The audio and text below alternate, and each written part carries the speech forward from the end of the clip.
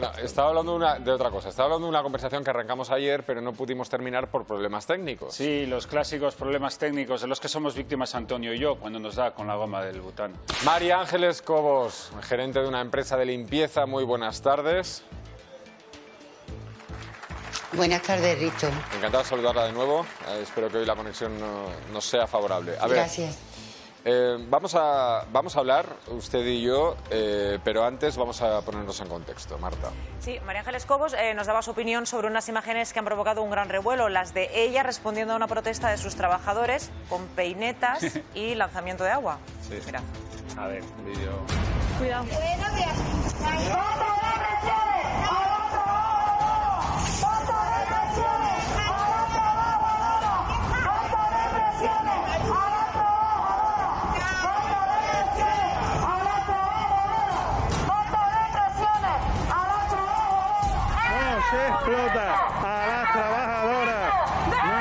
Explota. Cumplirlo.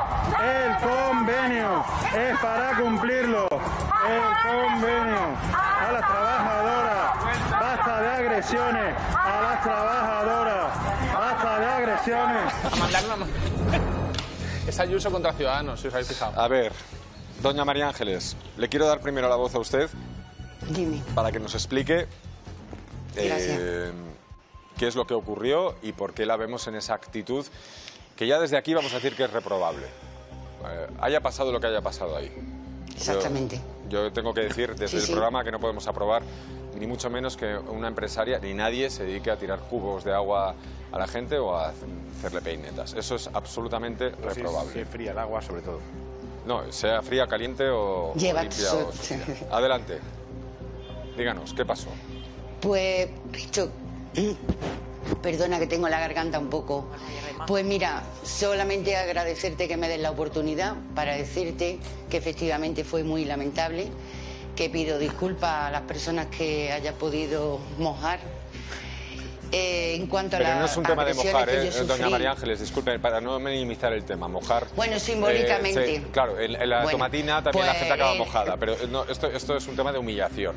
Bien, de bueno, pues Risto, es para efectivamente, no lo hice con el ánimo de humillar a nadie. Simplemente fue un acto que deprobable y que pido disculpas a las personas que pudieron sentirse mal. Eh, aclarar que no eran mis trabajadores, que no es un sindicato que nos representa. Eh, si querían hacerme daño, decirles para recompensarles que lo han conseguido, no económicamente porque eso ya lo recuperamos con el tiempo y con esfuerzo, porque llevo desde los 13 años trabajando humildemente, sino en mi corazón y atacando a lo que más quiero, que son a mis trabajadores y a mi empresa. Que Doña son María Ángeles, 40 años luchando. En ese Entonces, sindicato, esos esa es la agresión que yo sentí. Esos y re- representantes sindicales están representando gente de su empresa, entiendo. Pues perdona, pero es que cuando yo llegué, porque me avisaron, llevaban dos horas y media en la puerta, pregunté quién eran, que quién les enviaba, me dijeron que ellos venían porque querían. Incluso un policía me tuvo que decir, pero usted no se ha dado cuenta que llevan el letrero en la espalda. O sea, ni siquiera les reconocí, obviamente por el estado que tenía de, de alteración. Y bueno, decirle eso, que lo siento muchísimo, que no es habitual en mí, que quiero muchísimo a todos los trabajadores de mi empresa y que yo misma soy obrera desde que tenía ocho años. Entonces no me representa, esas imágenes a mí no me representan. Doña María Ángeles, le honra que usted pida Solo disculpas. quería decir eso. Yo creo que eso, eso le honra que haya querido entrar a más en directo para hacerlo públicamente. Yo ahí no, no voy a añadir nada. Una disculpa es una disculpa. Sí que voy a invitar a esta conversación a Miguel Montenegro, secretario general de Andalucía del sin- sindicato CGT. Muy buenas tardes. Hola, buenas tardes. No sé si ha escuchado la disculpa de doña eh, María Ángeles. Usted representa a varios trabajadores eh, de esa empresa, si no estoy equivocado, ¿no es así?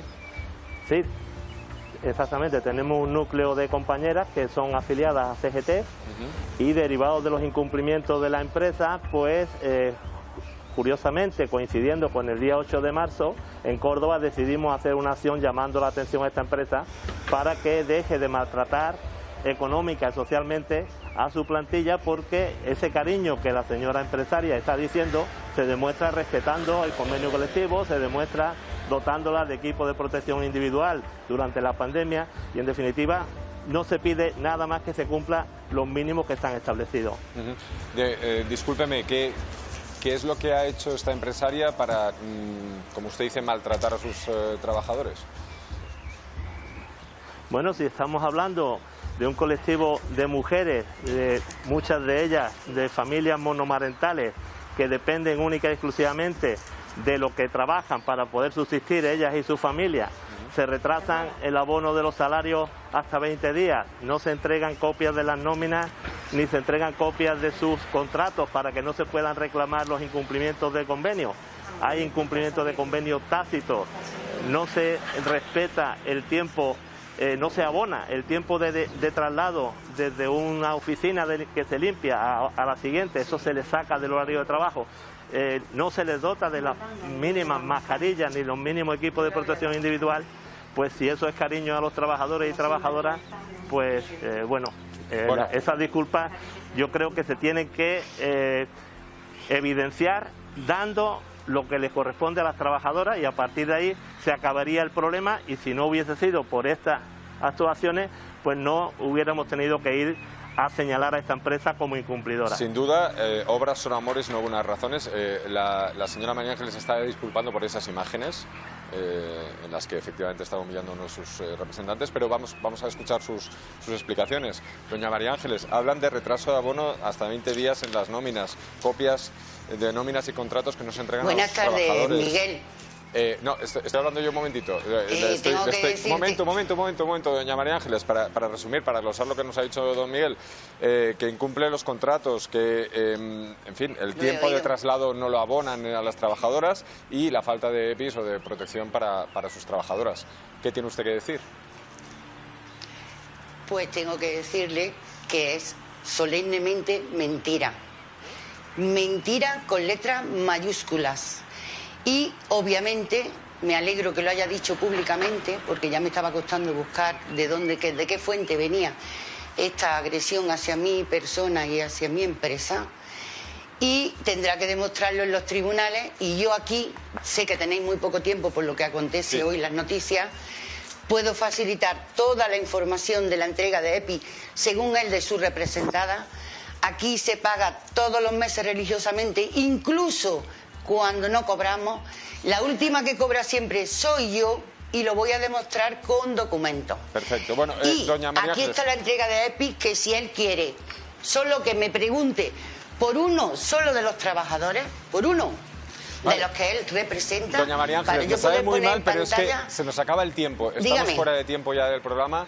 Eh, yo les bueno, invito a los dos pues a, ya a compartir sabe que esa información. Es mentira mentira y mentira. Y como usted lo que dice, ha si lo que ha sido ha sido una, calumnia, eso es perfectamente denunciable, con lo cual usted, eh, pues eso, Efectivamente, a los tribunales y, y a ver qué es. ocurre. Gracias, gracias a los dos, gracias don Miguel, gracias do, doña María Ángeles, lamentablemente no Gracias tenemos más por tiempo. darme la gracias. oportunidad. Gracias, gracias Fernando Carrera, muchísimas Gracias, gracias, por estar aquí, gracias Risto. gracias